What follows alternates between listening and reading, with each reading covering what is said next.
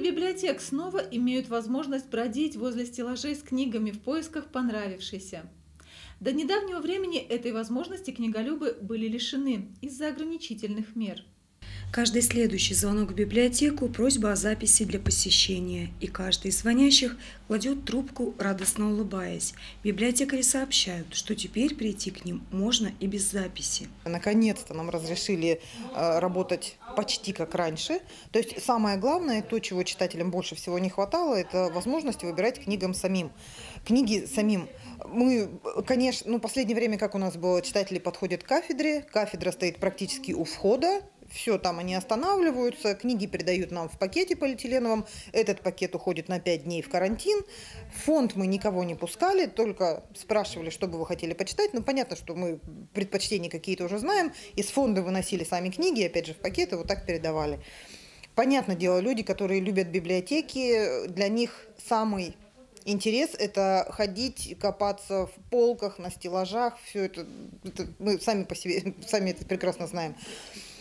Вот. Теперь у них эта возможность появилась, но ну, маленькие эти ограничения остались. Понятное дело, что обязательно присутствие в библиотеке в маске, обязательно в перчатках, тем более, когда выбирать будут книги в фонде, конечно, чтобы ну, руки были защищены.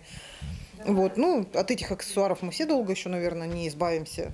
Вот. Но тем не менее, радуется каждый, кому не скажешь, что наконец-то теперь уже не нужно записываться, можно приходить. Ну, все как раньше, плюс только просим маску и перчатки. Остается пятидневный карантин на принесенные читателям книги, после чего они возвращаются на полки. А богатый книжный фонд библиотеки позволяет не замечать их отсутствие – тем более, что в книжном семействе заметно прибыло.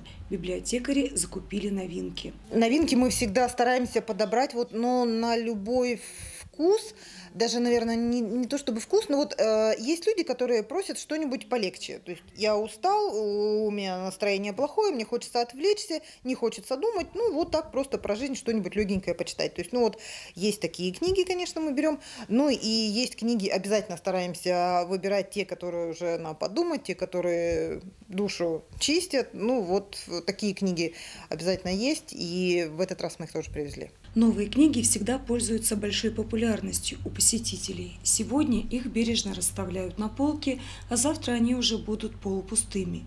Держать в руках книгу, еще пахнущую типографией, и осознавать, что читаешь ее первым, ни с чем не сравнимое удовольствие. Бальзамом на душу проливаются и эффектные обложки, и интересное содержание. Про любовь, про жизнь, про время, прошлое, настоящее и будущее. Книги на любой вкус и возраст – в настоящее время библиотекари озадачились идеей создания фотовыставки, которая, опять же, будет интересна людям разных возрастов. В принципе, библиотека же всегда работает, э, главное, на поддержании вот этой связи поколений, связи времен. Но как-то, при том это получалось само собой нечаянно, потом мы уже поняли, как оно идет, и теперь стали этой цель себе, э, эту цель себе ставить ну, вообще в любых своих проектах. То есть у нас даже если проследить, вот самые наши, ну, значимые, самые известные проекты, вот «Родной земли многоголосие», мы знакомим с нашими известными земляками, которыми уже, которым, ну, юбилеи достаточно такие солидные. И это люди, которыми мы можем гордиться, о которых хочется рассказывать молодому поколению. То есть вот раз. Потом э, в прошлом году, в 2020 году, вот с вами вместе мы делали проект «Назад и в будущее». Опять же, показывали, как было раньше, как стало сейчас. Э, люди какие были, какие стали. То есть вот все, все это мы стараемся поддерживать. Ну и суждение, естественно, три поколения обсуждают одну книгу. То есть вот этот вот диалог поколений очень важен. И вот мы его решили к самому Леневу тоже подвязать. В этом году э, хотим сделать, ну, до конца он еще не продуман, но и до конца я не буду даже, если был бы продуман, все равно не стала бы раскрывать все равно все секреты, но мы готовим вот новый проект э, «Прошлое Ленева». То есть мы как раз и сам поселок хотим показать, каким он был, какой стал. Вот буквально вот, вот эта вот улица, вот этот вот дом, много фотографий у нас уже есть, и я вот посредством вас хотела бы обратиться к ленивцам. Те, у кого есть старые фотографии, приносите нам их, пожалуйста. Мы тут же при вас их отсканируем, вам отдадим, это вот ни, ни, ничто не потеряется.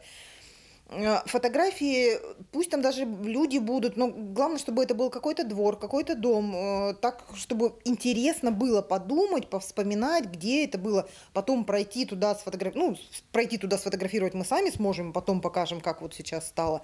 Ну вот хотим такую штуку вспомнить и, и, и вот и с помощью ленивцев это осуществить.